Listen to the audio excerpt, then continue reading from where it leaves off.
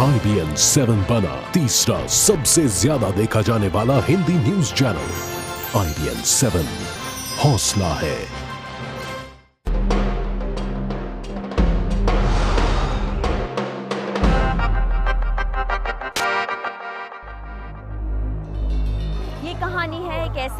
ईमानदार अफसर की जिसने ताकतवरों के खिलाफ आवाज़ उठाई। भ्रष्टाचार का पर्दाफाश किया और भ्रष्टाचार के खिलाफ इस लड़ाई में अपनी जान भी गंवा दी। 36 साल के डी के रवि अपने घर में संदेहजनक परिस्थिति में मृत पाए गए। इस खबर को सुनते ही पूरे देश में एक आक्रोश की लहर दौड़ पड़ी। न सिर्फ़ उनके परिवारजन और दोस्त पर कई ऐसे लोग जो शायद रवि को पर्सनली जानते भी नहीं थे, सड़कों पर आ गए। नमस्कार और स्वागत है आपका सिटीजन जर्नलिस्ट शो के इस बहुत ही खास एपिसोड में। ये है हमारा विसल ब्लोअर स्पेशल जी हाँ ऐसे साधारण सिटीजन जिन्होंने असाधारण साहस दिखाया है और भ्रष्टाचार के खिलाफ आवाज़ उठाई है। मैं सत्येंद्र दुबे का भाई धनंजय दुबे हूँ जिनकी भ्रष्टाचार के खिलाफ आवाज़ उठाने की वजह से हत्या कर दी गई थी।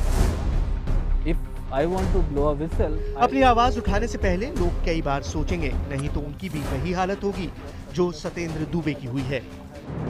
मेरे पापा के हाथ काट दिए गए दराते से। तो मैं आया बीच में तो मेरे को भी लाडोसों से मारा गया। जहाँ भी मतलब सूचना का अधिकार का जिसने भी उपयोग किया है तो उनके साथ में ये दुर्व्यवहार किया जाता है। तो मतलब क्या आवाज़ उठाने वाले के साथ ऐसा क्यों होता है? आज के वक्त में ऐसी व्यवस्था की ज़रूरत है जहाँ कोई भी शख्स अपने आसपास हो रहे भ्रष्टाचार के खिलाफ शिकायत कर सके सत्येंद्र दुबे ने ऐसा ही किया था, लेकिन इसकी कीमत उन्हें अपनी जान गंवा के चुकानी पड़ी अब सत्येंद्र के भाई धनंजय बने हैं सिटीजन जर्नलिस्ट और वो बता रहे हैं कि कैसे उनके भाई ने स्वर्णिम चतुर्भुज प्रोजेक्ट में चल रहे भ्रष्टाचार का पर्दाफाश किया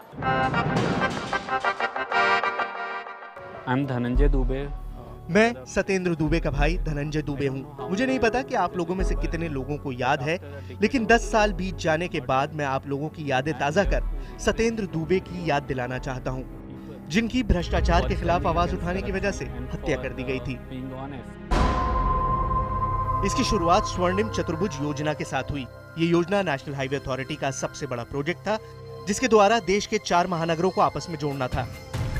इस योजना पर करोड़ों रुपए खर्च किए गए और मेरे भाई Satyendra Dubey national highway authority में असिस्टेंट प्रोजेक्ट मैनेजर के पद पर काम कर रहे थे। उस वक्त उनकी पोस्टिंग झारखंड के कोडरमा इलाके में थी। बिहार में राजमार्ग निर्माण में हो रही धांधली पर सत्येंद्र दुबे की नज़र गई। 2002 में सबसे पहले मेरे भाई ने राष्ट्रीय राजमार्ग प्राधिकरण में उच्च अधिकारियों के सामने धांधली की बात रखी। उनकी कई शिकायतों के बाद जब कोई कार्रवाई नहीं हुई तो सत्येंद्र ने प्रधानमंत्री को चिट्ठी लिखी। 11 नवंबर को लिखी इस चिट्ठी में सत्येंद्र ने राजमार्ग में हो रही धांधली और इसमें लिप्त चार कॉन्ट्रैक्टर का नाम बताया था। चिट्ठी में उन्होंने अपनी पहचान गुप्त रखने का अनुरोध किया था। मगर फिर भी भैया की चिट्ठी उनकी पहचान के साथ आगे भेज दी गई। अगर प्रधानमंत्री कार्यालय में ऐसी गलती हो सकती है तो देश में दूसरी जगहों से क्या उम्मीद की जा सकती है? अगर आप प्रधानमंत्री से अपनी पहचान गुप्त रखने का अनुरोध करते हैं, लेकिन फिर भी आपकी पहचान लीक कर दी गई और आज तक नाम लीक करने वाले दोषी व्यक्ति के खिलाफ कोई कार्रवाई नहीं की गई है। इसके बाद धमकियों और ज़ुबान बंद रखने का दौर शुरू हो गया। आफ्टर फोर मंथ्स भैया wrote another letter to the prime minister चार महीने बाद भैया ने दोबारा प्रधानमंत्री को चिट्ठी लिखी और बताया कि उनकी पहचान लीक होने के बाद से उन पर काफ़ी दबाव डाला जा रहा है। चिट्ठी लिखने के कुछ वक्त बाद ही सत्येंद्र का तबादला बिहार के गया ज़िले में कर दिया गया। मेरे भाई ने अपना काम जारी रखा। ये साबित हो चुका था की सत्येंद्र कई लोगों के रास्ते का रोड़ा बन चुके हैं। Around three kilometers. उन्होंने तीन किलोमीटर लंबी सड़क का दोबारा से निर्माण करवाया, क्योंकि उसमें अच्छी गुणवत्ता वाली चीज़ों का इस्तेमाल नहीं किया गया था। पाँच इंजीनियर को सस्पेंड कर दिया। उनके इस काम से धांधली करने वाले कई लोगों को नुकसान होने लगा था।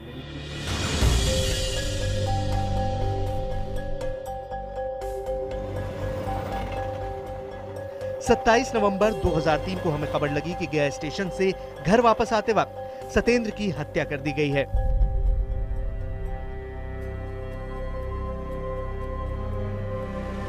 पिछले दस साल से हम लोग इंसाफ की लड़ाई लड़ रहे हैं।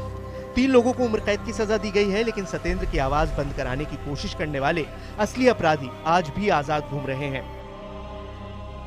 Uh, सीबीआई के सामने कुछ लोगों ने कबूल किया कि हत्या उन्होंने की है। इसके बाद भी इस केस को बंद कर दिया गया जबकि असली अपराधी आज भी आज़ाद है।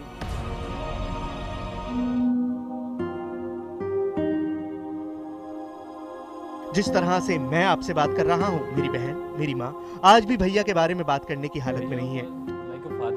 उन्हें याद कर अगर बातें करें तो पता नहीं क्या होगा। अपनी माँ के सामने हम उनकी कोई बात नहीं करते हैं। भैया मेरे पिता के समान थे। वो बहुत ही सीधे विनम्र और एक ईमानदार इंसान थे। उनका बर्ताव दोस्ताना था। किसी की मदद के लिए वो हर वक्त तैयार थे। यहाँ तक कि उनकी मौत के समय उनके पास केवल तीन या चार जोड़ी कपड़े थे। उनकी यही सादगी थी और ऐसे ही वो दूसरों से प्यार करते थे।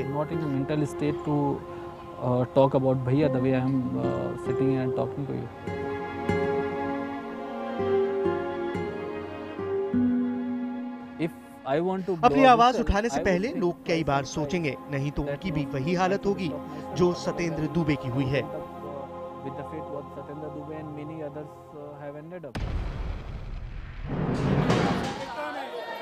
हम आप तक लोगों के हिम्मत और साहस की कहानियाँ लेकर आए हैं। हम में से कई लोगों ने आरटीआई एक्ट का प्रयोग किया है और भ्रष्टाचार का पर्दाफाश किया है।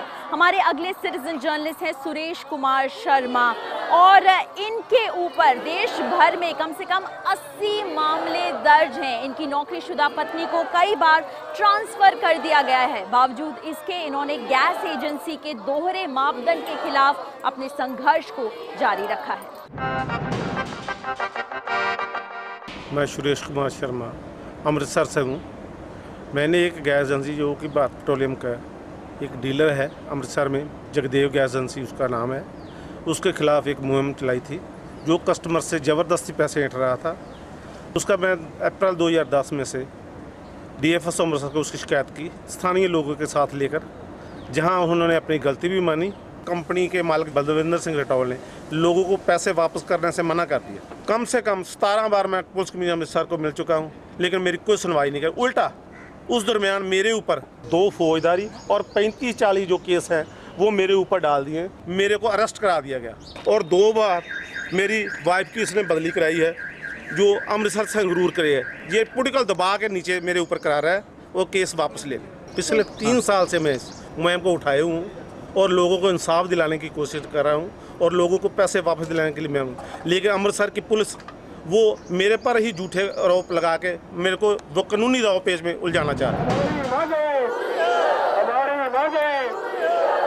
हमारे अगले सिटीजन जर्नलिस्ट और विसल ब्लोअर हैं मंगलाराम मंगलाराम बाड़मेर ज़िले के रहने वाले हैं और उन पर महज इसलिए मारपीट और हमला हुआ क्योंकि उन्होंने आरटीआई लगाई थी। इस आरटीआई द्वारा वो सोशल सेक्टर स्कीम्स जैसे कि मनरेगा और इंदिरा आवास योजना के तहत कुछ जानकारी मांगना चाहते थे।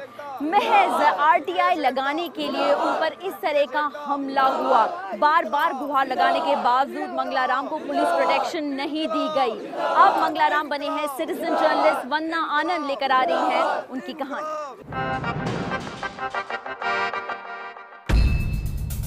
सच्चाई का साथ देने और भ्रष्टाचार की पोल खोलने की एवज में मुझे धमकी दी गई। मारपीट की गई, सताया गया। मैंने आरटीआई के तहत मनरेगा के बारे में जानकारी मांगी तो सरपंच ने मुझसे मारपीट की और मेरे हाथ पाँव तोड़ दिए। मेरे गाँव में मनरेगा स्कीम लागू होने के बाद भी कई लोगों को इससे फ़ायदा नहीं मिल रहा था। मेरा नाम मंगलाराम है। मैं राजस्थान से बाड़मेर ज़िले का रहने वाला हूँ। मैंने आरटीआई के तहत मनरेगा के अंदर जो कार्य हो रहे थे उसके प्रति मैंने सूचनाएँ मांगी थी। तो सरपंच ने मेरे ऊपर हमला बोला उसमें मेरे दोनों हाथ पैर टूट गए।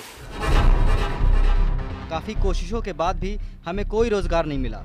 लेकिन साल 2007 में एक आरटीआई से मिली जानकारी ने मेरे होश उड़ा दिए मेरा नाम गाँव के रोज़गार लोगों की लिस्ट में दर्ज था। इसका मतलब ये था कि मेरे नाम पर फर्जी तरीके से पैसे वसूले जा रहे थे। उस लिस्ट में सिर्फ़ मेरा ही नाम नहीं, बल्कि गाँव के कई ऐसे लोगों का नाम भी दर्ज था, जिनकी पहले ही मौत हो चुकी थी। इन सब के नाम पर फर्जी तरीके से पैसों की निकासी की जा रही थी। इसका मतलब साफ़ था कि लोगों को रोज़गार नहीं दिया गया था, लेकिन उनके नाम पर पैसे निकाले जा रहे थे।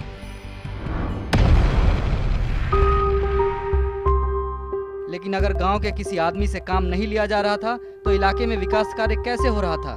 इसके लिए मैंने साल 2001 से लेकर साल 2010 तक मनरेगा के अधीन लोक निर्माण विभाग के काम का ब्यौरा मांगा, लेकिन मुझे जानकारी नहीं दी गई। इसके बाद मैंने इस मुद्दे को पंचायत में उठाने का फैसला किया। मनरेगा के अंदर भ्रष्टाचार जो गाँव में मेरे को दिखा, तब मैंने सरपंच महोदय को चिट्ठी लिखी और उसके बाद कलेक्टर साहब को चिट्ठी लिखी, लेकिन उनका कोई मुझे जवाब नहीं मिला। तब मैं सूचना आयोग जयपुर में अपील की और अपील सूचना आयोग जयपुर में की तब मुझे वहाँ सौ कॉपी का देने का प्रावधान रखा था उन लोगों ने। आयोग के माध्यम से उन्होंने कहा था जो मन चाही नरेगा के अंदर जो मंगलाराम मांगेगा उसको वही सूचना दी जाएगी, लेकिन वो सूचना मुझे नहीं दी गई और उन्होंने अपनी मर्ज़ी से सूचनाएँ गलत मुझे दी। आरटीआई से यह भी जानकारी मिली कि पैसों की हेराफेरी सिर्फ़ मनरेगा के नाम पर नहीं, बल्कि इंदिरा आवास योजना के नाम पर भी की जा रही थी। गरीबी रेखा से नीचे रहने वाले लोगों को वादों के मुताबिक पक्के मकान नहीं दिए गए थे। पक्के मकान सिर्फ़ सरपंच के परिवार को ही दिए गए थे। 2001 से 2008 में मैंने नरेगा के बारे में जो का, कार्य के बारे में सूचनाएँ मांगी थी उसमें सरपंच महोदय ने जो कार्य करवाए वो नाडी खुदाई के कुछ काम करवाए वो वो मशीन के माध्यम से करवाए जबकि वो नरेगा के अंदर जो कार्य करवाए जाते हैं वो मजदूर रोज़गार में जो बीपीएल परिवार को रोज़गार देकर काम करवाया जाता है, वो मशीनों के ज़रिए से उन्होंने करवाया और कुछ जो रोड का ग्रेवल ग्रेवल रोड बिछाने का कार्य था, वो कागजों में लिपापोती कर अपना कार्य पूरा कर दिया गया और मौके पर वो काम नहीं पाया गया। जैसे ही मैं नरेगा की मीटिंग में वहाँ गया, सरपंच महोदय ने अपने सहयोगियों के साथ मेरे ऊपर हमला बोला और उसमें मेरे दोनों हाथ पैर तोड़ दिए गए।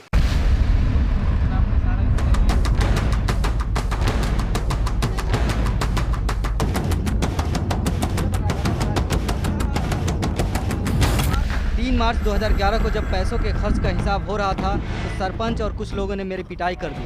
पिटाई के बाद मेरे दोनों पाँव टूट गए। पुलिस स्टेशन में मैंने एफआईआर भी दर्ज करवाई, लेकिन उस पर वो सरपंच शक्तिशाली होने के कारण पुलिस में कहीं उसकी ऊँची पहुँच होने के कारण उसको आज दिन तक चालान पेश तक नहीं किए। गाँव के चार दूसरे जो उसके सहयोगी थे, उनके नाम लिख करके सरपंच को छोड़ दिया गया। बार बार धमकी मिलने के बाद मैंने पुलिस अधीक्षक से अपनी सुरक्षा की अपील की, लेकिन मुझे कोई सुरक्षा मुहैया नहीं कराई गई। सरकार को अब ज़रूरत है कि हम जैसे लोगों की सुरक्षा करें, जो खतरों के सामने सच बोलने की हिम्मत रखते हैं। मैं मंगलाराम मेरी लड़ाई जारी रखूँगा और सरपंच की धमकियों से डर कर मैं बैठने वाला नहीं हूँ। मुझे जो अधिकार मिला है, उसका मैं पूरा प्रयोग करूँगा। सिटीजन जर्नलिस्ट शो पर एक छोटे से ब्रेक का, लेकिन और भी हैं सिटीजन जर्नलिस्ट कहानियाँ ब्रेक के उस पार।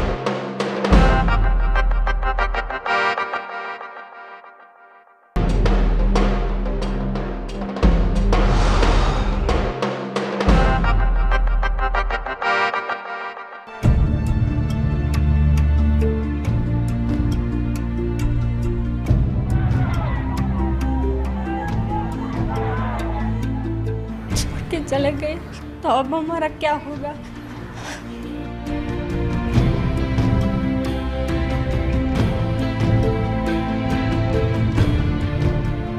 I asked him, man, you should have some security. You, why are you doing this? He said to me that if they kill me, I'll come back in another five minutes. Okay, I reincarnate and I'll again shoot.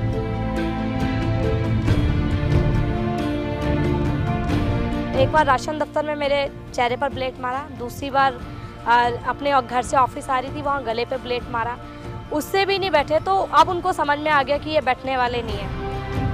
Welcome back आप देख रहे हैं citizen journalist show ये है whistle blower special हमारे अगले citizen journalist हैं गेंदा लाल रूपाले. ये मध्य प्रदेश के ज़िला खांडवा के रहने वाले हैं और इन्होंने अंत्योदया कार्ड वितरण के लिए आरटीआई से जानकारी मांगी. जानकारी मिलने पर पता चला कि कार्ड वितरण में धांधली हो रही थी. जब धांधली सामने आई तो जाँच हुई, सरपंच को जेल भी हुई. लेकिन अब सरपंच बेल पर जेल से बाहर हैं और गेंदा लाल पर धमकियों का सिलसिला शुरू हो चुका है. लेकिन गेंदा लाल ये मानते हैं कि इन धमकियों का जवाब वो अपनी आवाज़ उठाने से ही दे सकते हैं। आकांक्षा प्रदीप मदद कर रही हैं गेंदा लाल की उनकी कहानी सामने लाने में। मैं गेंदालाल रूपाले, जिला मध्य प्रदेश खंडवा का निवासी हूँ। मैं सिटीजन जर्नल शो के माध्यम से ये बताना चाहता हूँ कि सूचना का अधिकार मांगने वालों के साथ किस तरीका का दुर्व्यवहार किया जाता है और किस तरीके से उनको परेशान किया जाता है। मेरी मुश्किलों की शुरुआत अक्टूबर 2012 में हुई, जब मैंने सरकारी योजना से लाभ उठा रहे लोगों की जानकारी के लिए आरटीआई डाली। सूचना के अधिकार में ये मेरे को लगा उसमें ऐसी बहुत सी योजनाएँ शासन की है कि जिसमें बहुत सा भ्रष्टाचार निकाला गया है। जैसे अंत्योदय कार्ड है तो उसमें स्वयं सरपंच और सरपंच की माँ, उसके जो करीबी लोग हैं तो ऐसे मतलब पाँच छः नाम उसमें करीबी पाए गए कि एक नाम पे दो दो कार्ड बनाए गए। इंदिरा आवास में भी ऐसा ही कुछ हुआ कि जो मतलब उसमें जो जिन लोगों अपात्र लोग हैं, उनको मिला गया और जो नहीं है मतलब जिनको मतलब मिलना चाहिए, उनको नहीं शासन की स्कीम का लाभ मिला। मर्यादा अंतर्गत अभियान में शौचालय निर्माण होते हैं गाँव के अंदर, गाँव में शासन की स्कीम चल रही है। उसमें एक भी शौचालय नहीं बना और शासन का पैसा वापस हुआ वहाँ।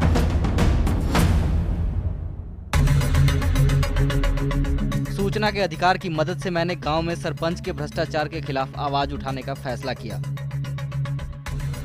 तो सरपंच ने मतलब क्या अपने बेटे को लगा के मतलब मेरे घर पे पूरे परिवार पे हमला करवाया थे?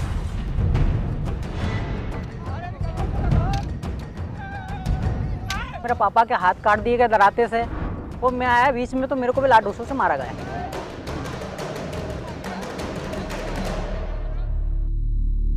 कार्रवाई हुई उसके खिलाफ मतलब एफ़ आई आर दर्ज करी, उसमें मतलब क्या उसको गिरफ़्तार भी किया गया सरपंच के बेटे को। लेकिन उसके बाद एक महीने बाद फिर उसको छोड़ दिया गया मतलब उसकी जमानत करवा ली। अब उसके बाद केस चल रहा है कोर्ट के अंदर अब क्या होता है फैसला? सरकारी योजनाओं में भ्रष्टाचार के खुलासे के बाद सरपंच के खिलाफ जाँच के आदेश दिए गए। तो एस साहब के पास केस गया तो 18 दो को उसको मतलब पद से प्रेरित कर दिया गया। उसके बाद उसने कलेक्टर साहब के पास अपील करी तो अपील करने के बाद में मतलब अगर मतलब उसकी शासन सुनती है और इतना भ्रष्टाचार कर हुआ है उसके साथ उसको मतलब मिलता है कि मतलब शासन की तरफ़ से फिर वही पद पे आ जाए तो उसका तो कोई मतलब ही नहीं है। पूरे देश में आरटीआई एक्टिविस्ट पर लगातार हो रहे हमलों की वजह से अब मेरे परिवार को भी जान का खतरा है। परिवार वाले तो यही चाहते हैं कि भैया मतलब अब तू चुपचाप बैठ जाए जो भी हुआ अपने साथ मतलब क्या है कि बुरा हुआ। कोई शासन प्रशासन सुनने वाला नहीं है लेकिन तू अकेला बोलेगा तो क्या होगा? जहाँ भी मतलब सूचना का अधिकार का जिसने भी उपयोग किया है, सूचना का अधिकार लगाया तो उनके साथ में ये दुर्व्यवहार किया जाता है। तो मतलब क्या आवाज़ उठाने वाले के साथ ऐसा क्यों होता है? यहाँ आज कई ग्रामीण डाक कर्मचारी अपने हक के लिए अपनी आवाज़ उठा रहे हैं। देश भर में ऐसे कई लोग हैं जो अपने इंसाफ की मांग कर रहे हैं। भ्रष्टाचार के खिलाफ उन्होंने एक मुहिम छेड़ रखी है। ज़रूरी ये है कि इनकी आवाज़ों को बुलंदी मिले, इनकी आवाज़ को एक शक्ति मिले। आज के एपिसोड में बस इतना ही। अगर आप भी इंसाफ की लड़ाई लड़ रहे हैं तो लिखिए हमें आई पर। फेसबुक और ट्विटर के ज़रिए भी आप हमसे जुड़ सकते हैं। फ़िलहाल आज के एपिसोड में बस इतना ही। नमस्कार।